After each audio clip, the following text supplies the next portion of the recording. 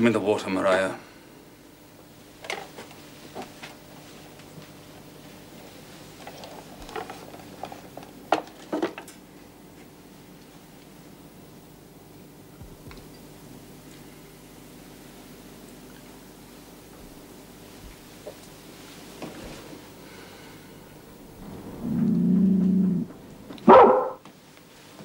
What's the matter?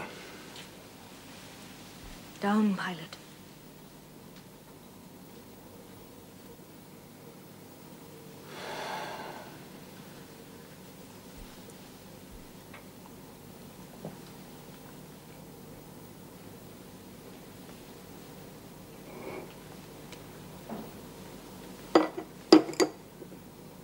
This is you, Maria, is it not? Mariah's in the kitchen. Who is this? Who is this? Who speaks? Will you take some more water, sir? I spilled half of what was in the glass. Who is it?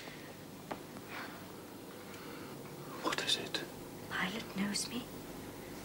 John and Mariah know I'm here. I arrived only this evening. God, what delusion has come over me? Sweet madness has seized me? No delusion, no madness. Let me touch you. Her very fingers. The small, slight fingers. Is it you, Jane? What is it? This is her shape. And this her voice. She is all here, her heart too. Jane Eyre. Jane Eyre. I am come back to you. Such dreams I've had at night when I've clasped her to my heart as I do now and kissed her.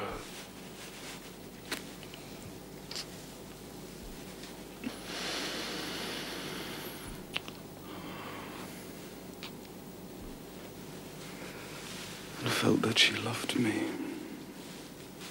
And trusted she would never leave me. Which I never will do from this day. Never. But I always woke and found it an empty mockery. Gentle, sweet dream. You will fly to.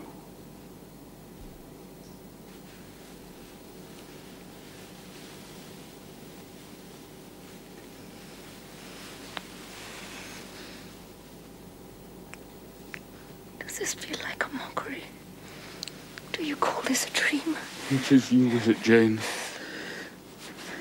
You are come back to me, then. I am. Don't lie dead in some ditch. Oh, shh.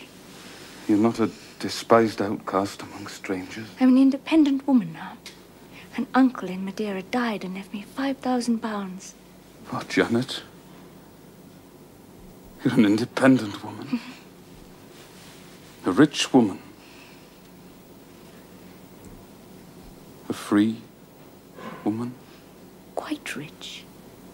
Enough to build a house close by. Where you can come and sit in my parlor when you need company of an evening. Ah, you're rich, Jane. You have now, no doubt, friends who will not suffer you to devote yourself to a lame, blind wreck. I am my own mistress, sir. And you will stay.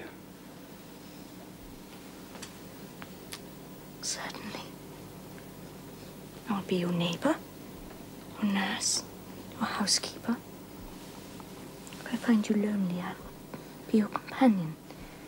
I will read to you, walk with you, sit with you, wait on you, be eyes and hand to you.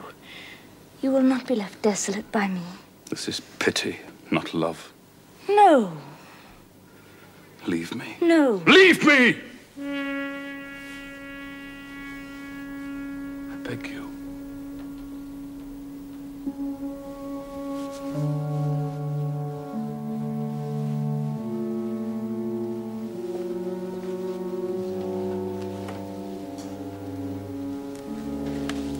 He was ever that way.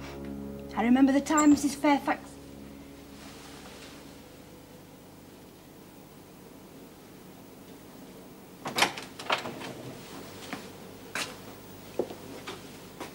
Anaya? Araya! Yes, sir? Our visitor cannot have left. Where is she? Oh, she... She's somewhere in the house, sir. I'll find her. Bring her to me.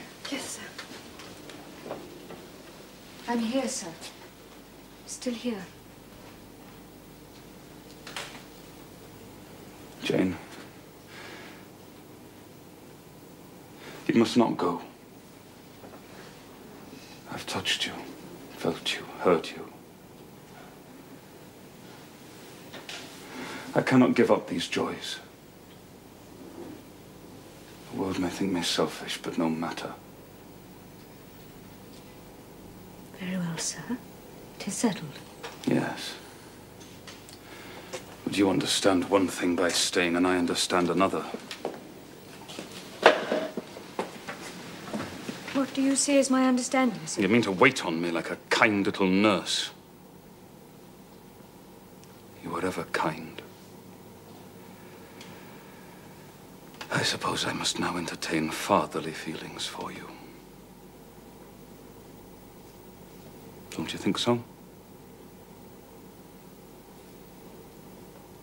Come, tell me. I shall think, sir, what you like. You cannot always be my nurse, Janet. You're young. You must marry someday. I don't care about being You married. should care. If I were what I once was, I would try to make you care.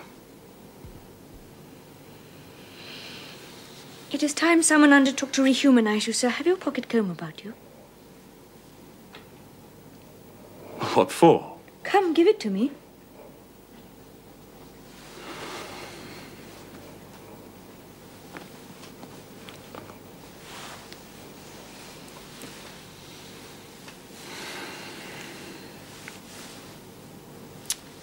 Is better. Your shaggy black mane is very alarming. And this? It is a pity to see it. A pity to see your eyes. A scar on your forehead.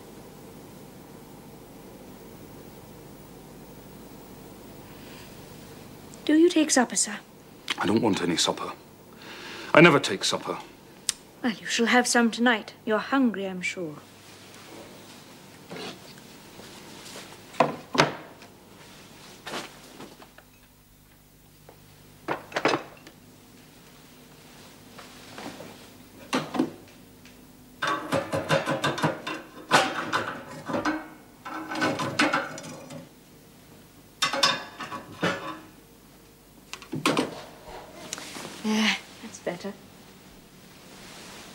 Can you tell when there's a good fire?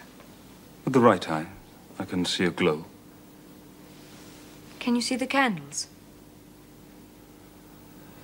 Very dimly. Each is a luminous blur. Can you see me? No, my fairy. But I can hear you and touch you. Jane, I thought you'd be revolted by me. Did you? Am I hideous, Jane? Yes, sir. You always were, you know. The wickedness hasn't been taken out of you, whatever you've sojourned. I've been with far better people than you, sir. Quite more refined and exalted. Who the deuce have you been with? You will not get it out of me tonight. You are far too tired. I will tell you tomorrow. A wicked changeling. Fairy born, yet human bred. Now I'm going to leave you. I've been traveling these last three days, and I too am tired. Good night, sir.